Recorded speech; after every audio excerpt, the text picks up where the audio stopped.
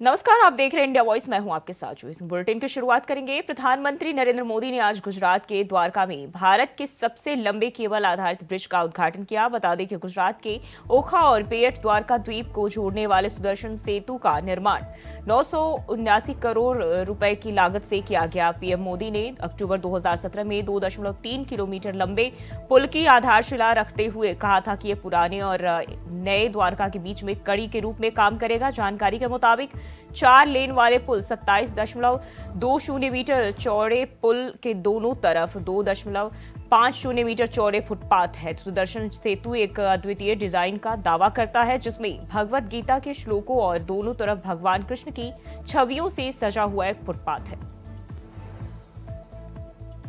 तो सुदर्शन सेतु का उद्घाटन किया गया और सात सौ उनासी करोड़ की लागत से जो है बनाया गया है। दो दशमलव तीन किलोमीटर लंबा यह सेतु है और साल 2017 में पीएम ने इसकी आधारशिला रखी थी। तो पीएम मोदी ने इसकी आधारशिला रखी थी और इसके दोनों तरफ़, सुदर्शन सेतु के दोनों तरफ़ पुल बनाए गए हैं। गीता का श्लोक, भगवान कृष्ण की छवियों से यह फुटपाथ जो है सजा हुआ है।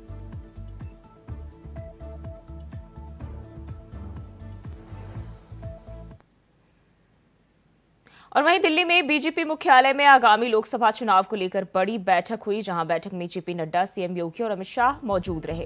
उत्तर प्रदेश में बीजेपी को मज़बूत करने के मसले पर यह बैठक आयोजित की गई, जहाँ बैठक में यूपी के दोनों डिप्टी सीएम भी मौजूद रहे। यह बैठक दो घंटे तक चली। यूपी में कमज़ोर सीटों पर रणनीति को लेकर चर्चा भी की गई।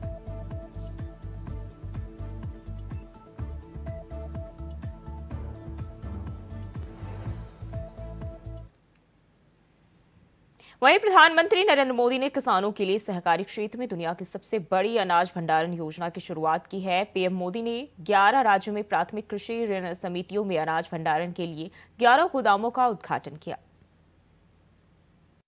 भारत मंडपम, विकसित भारत की अमृत यात्रा में एक और बड़ी उपलब्धि का साक्षी बन रहा है।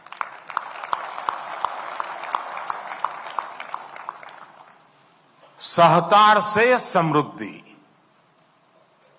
सहकार से समृद्धि का जो संकल्प देश ने लिया है, उसे साकार करने की दिशा में आज हम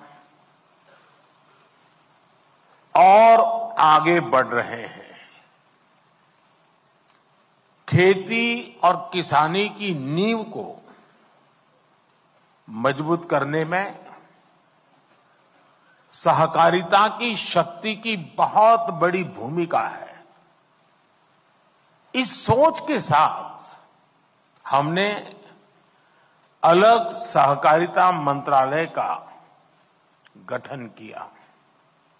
और अब इसी सोच के साथ आज का एक कार्यक्रम हो रहा है। आज हमने अपने किसानों के लिए दुनिया की सबसे बड़ी स्टोरेज स्कीम या भंडारण स्कीम शुरू की है। इसके तहत देश के कोने कोने में हज़ारों वेयर हाउसेज बनाए जाएँगे। हज़ारों गोदाम बनाए जाएँगे। आज अठारह हज़ार पैक्स के कंप्यूटराइजेशन का बड़ा काम भी पूरा हुआ। केवल व्यवस्था नहीं है। सहकारिता एक भावना है। सहकारिता एक स्पिरिट है। सहकारिता के ये स्पिरिट कई बार व्यवस्थाओं और संसाधनों की सीमाओं से परे आश्चर्यजनक परिणाम देते हैं। सहकार जीवन यापन से जुड़ी एक सामान्य व्यवस्था को बड़ी औद्योगिक क्षमता में बदल सकता है। ये देश की अर्थव्यवस्था के, खासकर ग्रामीण और कृषि से जुड़ी अर्थव्यवस्था के कायाकल्प का एक प्रामाणिक तरीका है। आज देश में भी डेयरी और कृषि में सहकार से किसान जुड़े हैं। उनमें करोड़ों की संख्या में महिलाएँ ही है। महिलाओं के इसी सामर्थ्य को देखते हुए सरकार ने भी सहकार से जुड़ी नीतियों में उन्हें प्राथमिकता दी है। आप जानते हैं कि हाल में ही multi state cooperative society act में सुधार लाया गया है। इसके तहत मल्टी स्टेट कोऑपरेटिव सोसाइटी के बोर्ड में महिला डायरेक्टर्स होना अनिवार्य कर दिया गया है। हमने देश में दस हज़ार एफपीओ बनाने का लक्ष्य रखा था। एक अलग सहकारिता मंत्रालय होने के उसका नतीजा ये है कि देश में आठ हज़ार एफपीओ का गठन ऑलरेडी हो चुका है। कार्यरत हो चुके हैं। कई एफपीओ की सक्सेस स्टोरी की चर्चा आज देश के बाहर भी हो रही है।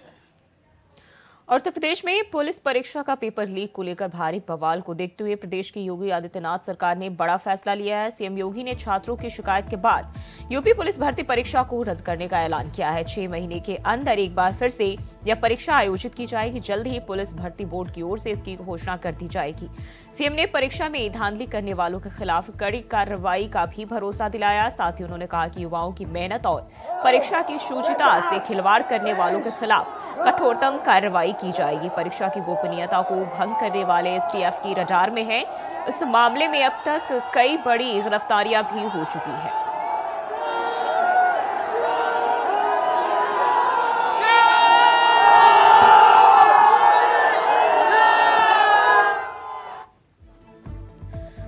पुलिस आरक्षी नागरिक पुलिस के पदों के चयन के लिए सीएम योगी ने जो ट्वीट किया है, उन्होंने साफ़ तौर पर लिखा है इसमें कि आयोजित परीक्षा 2023 को निरस्त करने और आगामी छह महीने के अंदर ही दोबारा से जो है परीक्षा आयोजित किए जाएँगे और परीक्षाओं की शुचिता जो है वो भंग करने वालों के खिलाफ कार्रवाई होगी, इससे कोई समझौता नहीं किया जाएगा। युवाओं के मेहनत के साथ जो है खिलवाड़ जिसने भी किया है, वो किसी भी हाल में बख्शे नहीं जाएँगे। और यूपी पुलिस भर्ती परीक्षा रद्द होने पर सपा प्रमुख अखिलेश यादव ने योगी सरकार पर हमला किया है। अखिलेश ने कहा कि परीक्षा रद्द कर सरकार ने अपनी नाकामी मान ली। पेपर सरकार की नाकामी के कारण लीक हुआ। जब पहले ही दिन पेपर लीक का पता चल गया, फिर दूसरे दिन कोई सख्ती नहीं की गई। अखिलेश ने कहा कि सरकार की नीयत ही साफ़ नहीं थी। तो अखिलेश ने कहा कि निरस्त, परीक्षा का निरस्त होना युवाओं की जीत है और बीजेपी सरकार के प्रपंचों की हार। पहले तो ये भाजपाई कह रहे थे कि पेपर लीक ही नहीं हुए और अब कैसे मान लिया? इसका मतलब अधिकारी और अपराधी मिले हुए हैं और सरकार भी पीछे से अपना हाथ उनके सिर पर रखी हुई थी। लेकिन तमाम सबूतों के आगे चुनाव में ऐतिहासिक हार से बचने के लिए सरकार झुकने पर मजबूर हुई है।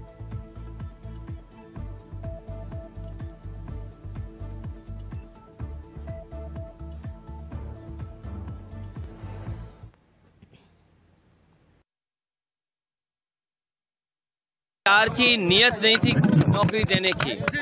और सरकार अगर चाहती होती नौकरी देने की। सरकार की अगर नियत साफ़ होती तो जिस समय पहला पेपर लीक हुआ था, उसी समय सरकार सख्ती से कार्रवाई करती। और उसका परिणाम ये होता कि किसी भी परीक्षा का पेपर लीक नहीं होता। और आज केवल पुलिस भर्ती के पेपर लीक के आरोप नहीं है, बल्कि R O A R O की जो भर्ती हुई, उसमें भी बड़े पैमाने पे छात्र नौजवान धरना दे करके बैठे हैं लोक सेवा आयोग के सामने। वो अपना पर्चा कैंसिल कराना चाहते हैं री एग्ज़ाम कराना चाहते हैं। आप सोचिए, सरकार जो दावा कर रही थी कि परीक्षा परीक्षा बिल्कुल सुरक्षित होगी। ये देखिए, सुरक्षा का पोल खुल गया और सरकार अपनी खुद स्वीकार कर रही है कि उनकी नाकामी की वजह से पेपर लीक हुआ है।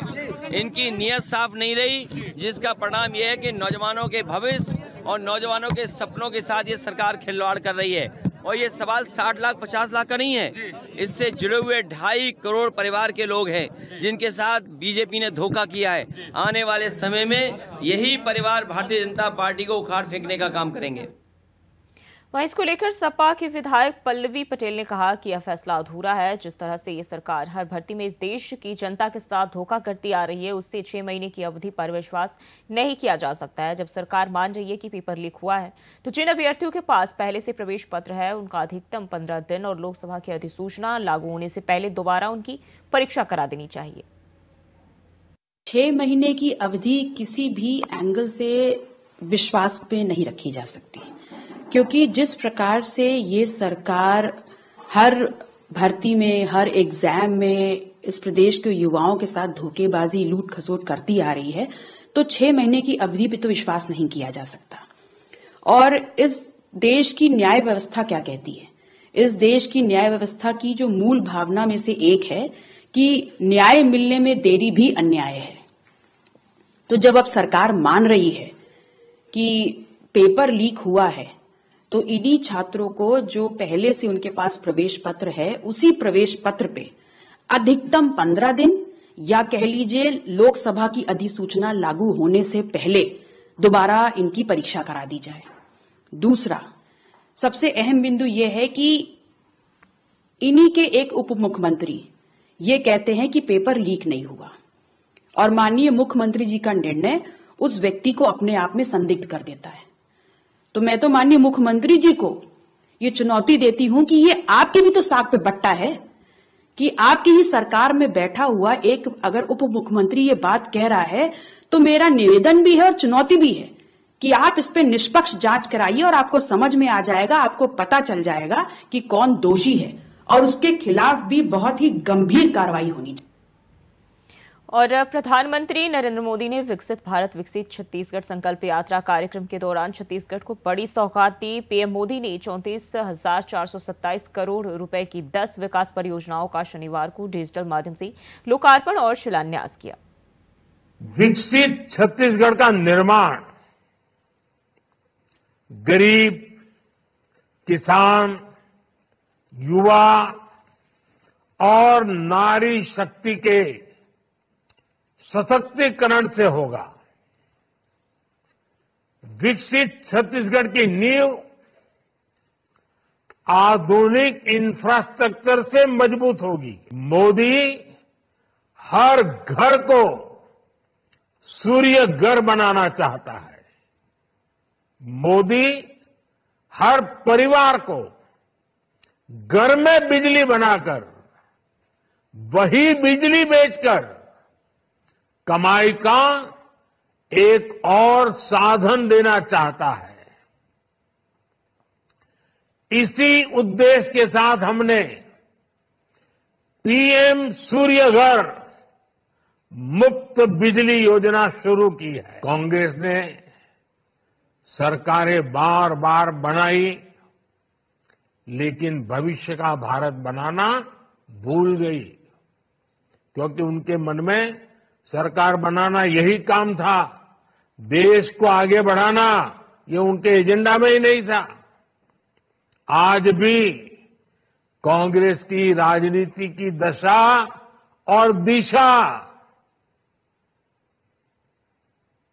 यही है। कांग्रेस, परिवारवाद, भ्रष्टाचार और तुष्टिकरण से आगे सोच ही नहीं पाती। छत्तीसगढ़ के लाखों किसानों को दो वर्ष का बकाया बोनस दिया जा चुका है। पहले की कांग्रेस सरकार गरीबों के घर बनाने से भी रोक रही थी, रोडे अटका रही थी। अब भाजपा सरकार गरीबों के घर बनाने के लिए तेज़ी से काम कर दिया है। हर घर जल की योजना, हर घर जल, इस योजना को भी सरकार अब तेज़ी से आगे बढ़ा रही है। पीएससी परीक्षा में हुई गड़बड़ियों की जाँच का भी आदेश दे दिया गया है। मैं छत्तीसगढ़ की बहनों को महतारी बंधन योजना के लिए भी बधाई देता हूँ। इस योजना से लाखों बहनों को फ़ायदा होगा। ये सारे निर्णय दिखाते हैं कि बीजेपी जो कहती है वो करके दिखाती है। इसलिए लोग कहते हैं मोदी की गारंटी, यानी गारंटी पूरा होने की गारंटी। और बढ़ते आगे, बरेली में चक्रोड की पैमाइश करने गए लेखपाल पर। महिला प्रधान समेत उनके बेटों ने जानलेवा हमला कर दिया था, लेकिन मामले में अभी तक आरोपी के खिलाफ एफआईआर के बाद भी कोई गिरफ्तारी नहीं हुई है, जिसको लेकर शनिवार को लेखपालों ने कार्य का बहिष्कार कर विरोध जताया।